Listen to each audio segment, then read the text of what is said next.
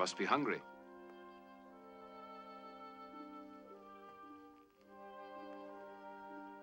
Good friends.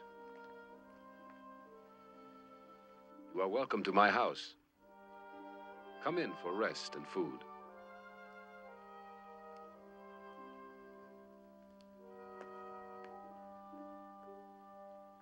And what commandment is first of all? Hear, O Israel, the Lord our God is one Lord. And thou shalt love the Lord thy God with all thy heart and with all thy soul, and with all thy mind and with all thy strength.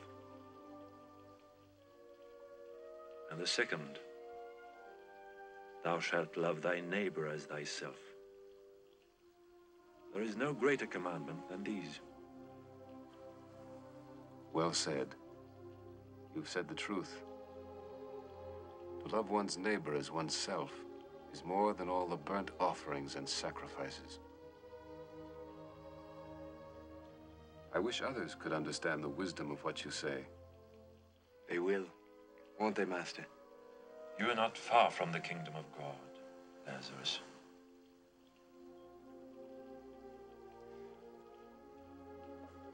Tell me,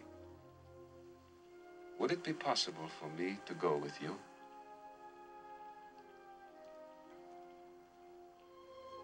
Wealthy. Yes, I am. Do you consider wealth a crime? Not at all. But it may become a burden. For what does it profit a man to gain the whole world and lose his soul?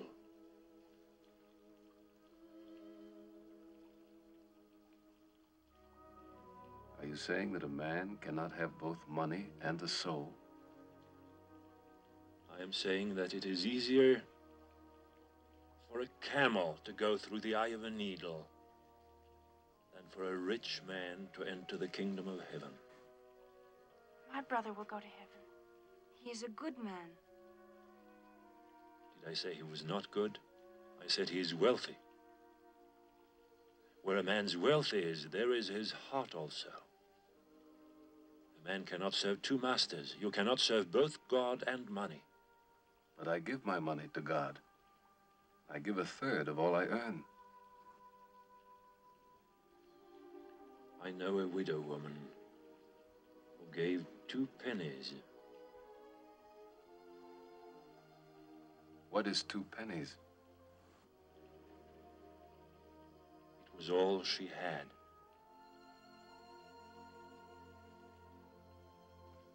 Love God. Would you give up all you own and follow me?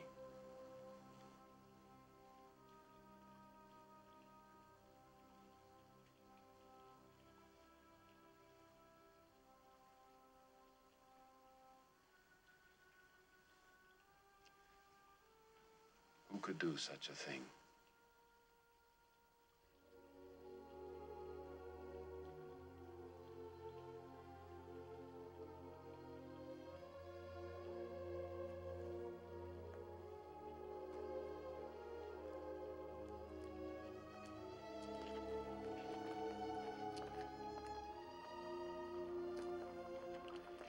You and your friends are welcome to stay the night. We have room enough and food enough. Lazarus, I will not forget you.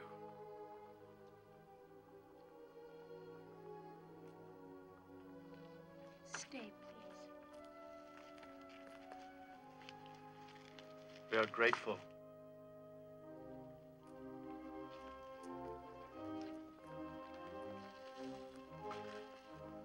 Frightened for him. Why, Mary? He is too good.